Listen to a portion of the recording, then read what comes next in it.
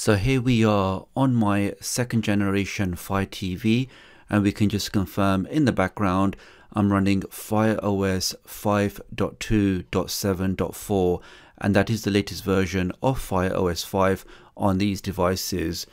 But watch what happens when I now press that home key.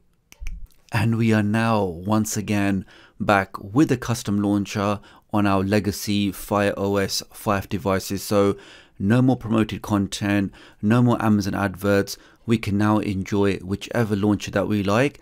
And also, as you can just see at the back there, we even have working widgets. So that really is a world first on these devices because that was just something that was never possible before. So in this video today, let me show you how you can also enable the custom launcher on your legacy Fire OS 5 devices, but then also configure them so you can enjoy widgets on your home screen. All you need to do is just hit that like button, make sure you hit that subscribe button. So with all of that being said, Let's get started. If you're new to the channel and you want to stay up to date with the latest tech tutorials, the latest Fire Stick, Android and Android TV tips and tricks, then please do subscribe and hit the notification bell. It's a small click from you, but it makes a big difference to me. Thank you. Okay, so to begin this process on your device, make sure you've got ADB debugging enabled.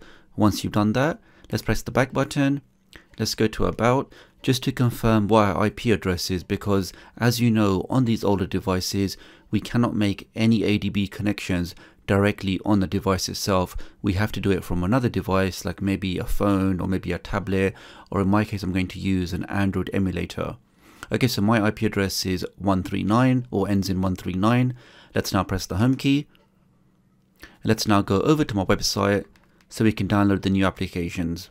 And then just type in the letters TDUK and click on go and this will then do a search query for those four letters and I'm hoping my website um, is either the first one or the second one. Okay, we can see it's the first one.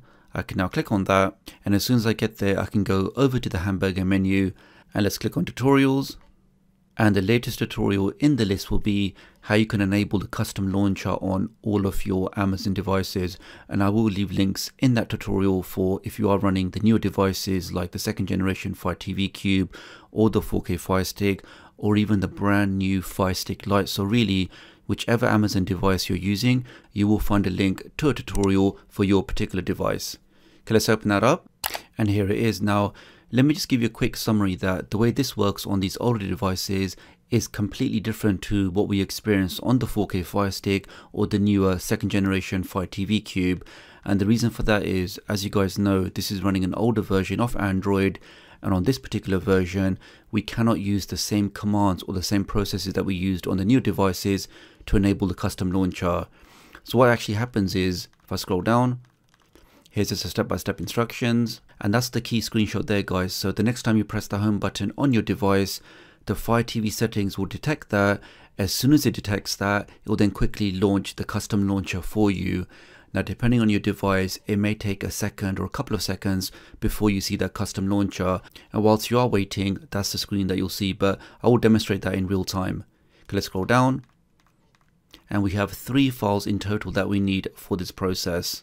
So the first two files are for your actual Fire Stick or Fire TV or any Fire OS 5 device. And the third thing is what you want to install on your cell phone or your tablet, or in my case, I'm going to install it on my Android emulator. And that's the application that's going to make a connection to our Fire Stick or Fire TV and then grant the permissions to the Fire TV settings. Okay, so let's get the first one. Let's click on that. Let's scroll down.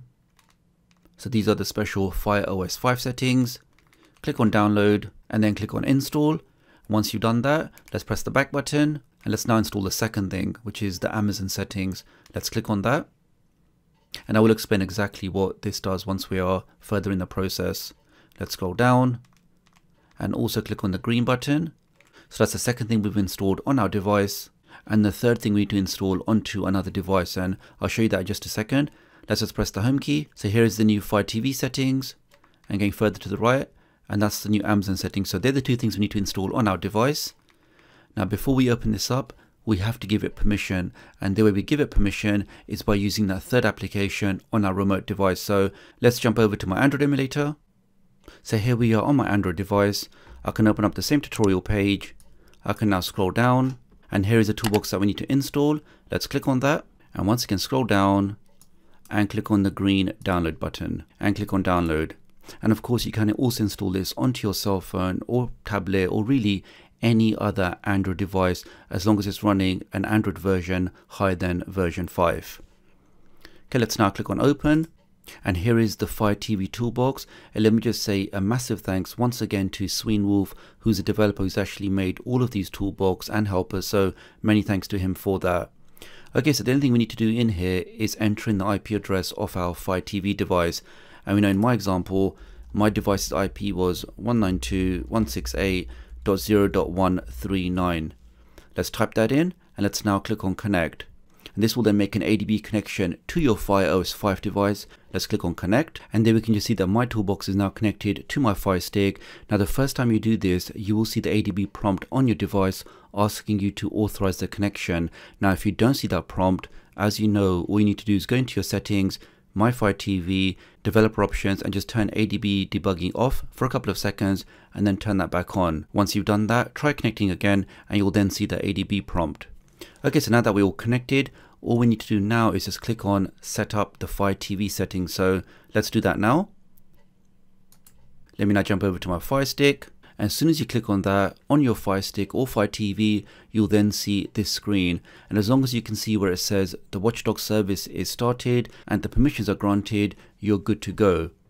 Now this is the key thing we need to make sure that's ticked which is the launcher detection because this application needs to detect that you press the home button so it can then send you to the custom launcher and in my example I'm using the Wolf launcher. Okay so now that that's ticked let's now click on save. Now you will see this for a second or two and there we are guys, we are now inside our custom launcher. So do give a thumbs up for that. And now one thing to mention here guys, the ideal way you want to use this is to utilize your back button. So for example, if I open up this application, now once I've finished using it, I should really press the back button and press it again and I'm back in my custom launcher. For example, if I'm inside uh, this application over here, again when I finish, I can press the back button, press it again, and I'm once again back inside the custom launcher. And the only reason I'm recommending that guys is because with this particular workaround, for example, if I'm inside this application and I now press the home button, that's going to send me back to the stock launcher for a second or two as you just saw there and then it'll take you back to the custom launchers so just to minimize that kind of waiting if you can always back out of your applications by pressing the back button instead of just pressing the home button but of course if you do press it it is still going to work. So for example, if I'm inside downloader, I click on a few things. I now press the home button. We see the home launcher for a second and that should then take us over back to our custom launcher. So of course guys, it's not ideal and doesn't work as good as the fixes we have for the 4K Fire Stick or the newer second generation Fire TV Cube. But unfortunately, due to the way that Fire OS 5 works, this is the only way we can get the custom launcher working on these older devices. Okay, but we can see guys, no more Amazon adverts, no more sponsored content. We can now enjoy this amazing launcher on all of our legacy devices. And for example, if you want to change the background, I can press the context key, go to launcher settings, go to wallpaper. I can now select the wallpaper, go to my storage, go to the downloader folder. And here we have some of the other wallpapers I downloaded before. Let's try this one over here. And there we are guys, we can now enjoy this beautiful wallpaper on our custom launcher. Now the other key thing which we've not done before is how we can actually get these widgets working on these older devices. Now to do that is actually a very very easy process because of that Fire TV toolbox. So let's jump back over there for a second and we can just see guys so if I want to enable widgets on the Wolf launcher all I need to do is just click on go and this will then apply the permissions so we can use those widgets on our custom launcher. So let's go back to the Fire Stick. Now let me just take this opportunity to say a massive thanks to all of the new members of my channel. Your support really does mean a lot and if any of you guys want to sign up, I'm doing a special promotion for the first 100 members whereby all of you can join my private chat group and in this chat group we can talk about stuff we can provide support to each other and we can even share our apks so some of those applications some of those toolboxes i'm working on you guys can get early access to them so if that sounds of interest to you do have a look out for the join button. Thank you. Now to install widgets, I recommend using an application called Aptoide TV and there will be a link to that on my downloads page. Let's open that up. Let's go to the search. And in this example, let's just do a weather widget.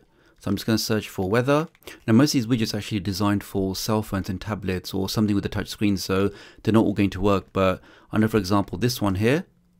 So if you install that one, let's press the home key. There we can see that message just for a second. And we're back inside the custom launcher.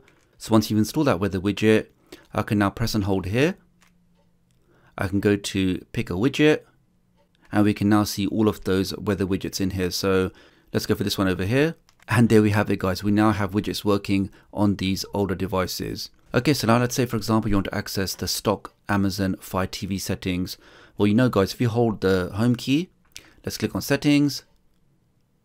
And because the way that the launcher detection works is, you're about to go to the settings, but then you're sent back to your custom launcher. So the easiest way to access your stock settings is to use this icon over here. So let's open that up and that will then take you back into your stock settings. So if you want to change your Wi-Fi settings or look at your developer options, you can do all of that stuff here. Now, if you want to go back to your custom launcher, you need to press the home key once, open up any application, and the next time you press the home key, and that will then take you back to your custom launcher, and we can see it's done exactly that. Okay, so the last thing, how do we actually go back to our stock launcher permanently? Well, the easiest way to do that is open up Fire TV settings, and where it says launcher detection, you can untick that, click on save, you can now press the home key, and that will then take you back into your stock launcher. Then you can leave the Fire TV settings there in case you want to try the custom launcher again, or if you want to completely remove it, you can also uninstall the application. So that's all for this video guys. Many thanks for watching. I know so many of you are asking for a custom launcher fix for these older devices. So I do hope you like this one. Do let me know and I'll hopefully catch up with you guys real soon. Thanks.